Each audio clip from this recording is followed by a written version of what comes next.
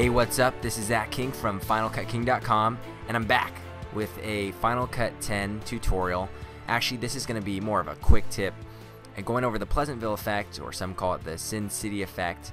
And it's the effect where you have one color that stands out. Maybe it's a red, maybe it's a green, whatever. And you have the background from that color desaturated, all black and white. So I'm going to show you how to do it just in a couple minutes. Actually, it's only a couple clicks. It's very simple. So I'll show you how. So I've got this picture you can download for free and follow along with, or try one of your own. It also works with video. But in the case of this video, I'm going to go with an example, my sister Megan in this cute little red car. And it's perfect because this red is very vibrant color. So let's go ahead and come into our inspector tab. You can open this right here by clicking this. And then we'll go ahead and click this little eyedropper plus button on the color correction 1 tab. If you click this and make sure you hold down when you select your color and you can get that range like that. And then go and click this little next arrow and we're going to click the button here that says mask outside go to saturation and bring this master saturation down and you'll see the color you selected is going to be here but we're not quite getting all of it. So maybe you want to make a selection somewhere else and drag open to get everything. If you hold down shift you can select even more. So maybe hold down shift and you'll see what that did. Even the bricks in the background got selected because they have a slight red hue in them.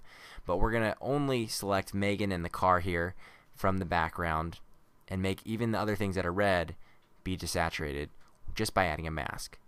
Now click this little shape mask here it adds it to the frame you'll see we have the option of a circle or you can change it if you drag this little white button and it creates to a square so I'm gonna use the square for the car that's great Let's expand it open and see how it's getting a little bit of the curb. We don't want that. So this outer feather, we're going to bring it in here real nice and tight against the car.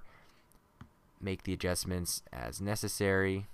And there we have our nice area. I'm going to bring this down too because we don't want that fire pole in the background getting its red glory.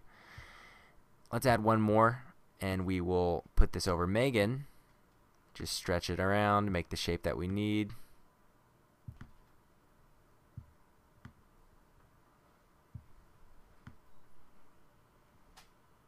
And voila, there is the Pleasantville effect with the two masks, the square and semicircle one, around Megan. You'll see if this were a moving shot, we could keyframe the mask to follow the position. The way we would do that is, let's say it, it starts the animation here.